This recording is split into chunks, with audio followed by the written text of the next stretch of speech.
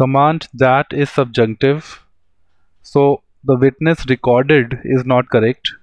It's subjunctive mood commanded, command that. So the most basic form of verb is needed. Recorded, records, is recorded, records, all of them can go. The right usage would be the witness record the statement in absence of the accused. So this is all right. All of these can go for the wrong verb. C is the right choice. Is recorded is also not the right usage. The right usage is the judge can command that the witness record the statement in absence of the accused. C is the best choice.